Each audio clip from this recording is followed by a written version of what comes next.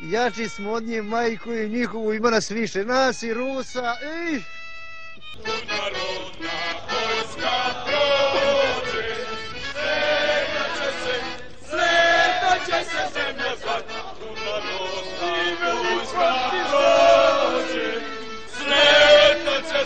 Kratko je bilo naše pobjedničko slavlje. Tek toliko da se bataljon dobro okupa, okrpi i obuče u ono što je zaplenjeno i da popuni svoje redove desetinama novih mladića i devojaka koji s pesmom dođoš. Mitre, sutra ćemo tamo da ih udarimo.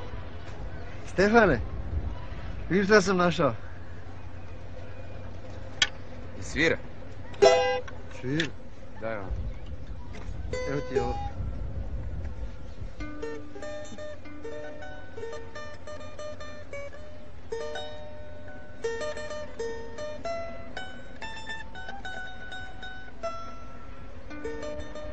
Ruzmarine moj zeleni Penđeru moj okićeni. Skoro ću te ostaviti Na daleko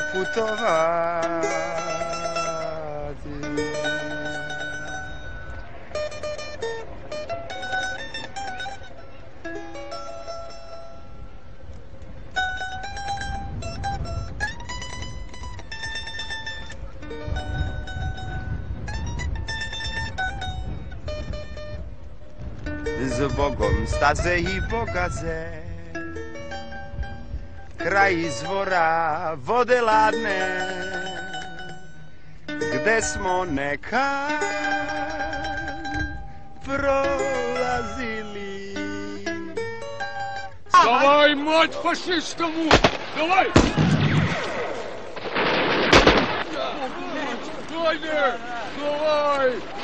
Быстро, быстро!